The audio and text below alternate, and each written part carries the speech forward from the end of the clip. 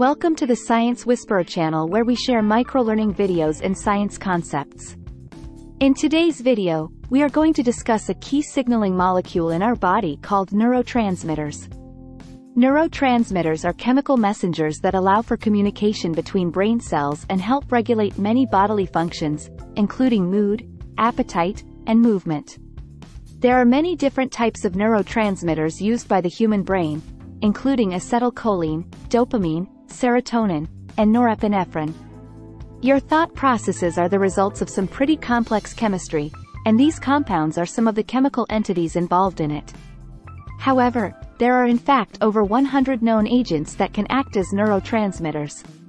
There are two main classes of neurotransmitter, excitatory and inhibitory. Excitatory neurotransmitters cause neurons to fire action potentials, essentially an electrical signal, whilst inhibitory neurotransmitters prevent action potentials being fired. Action potentials play an important role in cell-to-cell -cell communication. For example, in muscle cells, the firing of an action potential will eventually lead to contraction. In general, communication between neurons in the brain is accomplished by the movement of neurotransmitting chemicals across the gap, synapse, between them. They are released from the terminal of one neuron and accepted by the receptor on the next neuron. We will now broadly discuss the common neurotransmitters and their role. Acetylcholine is involved in motor control and memory formation, while dopamine plays a crucial role in motivation and reward processing. Serotonin helps regulate mood, appetite, and sleep, while norepinephrine is involved in the body's fight or flight response.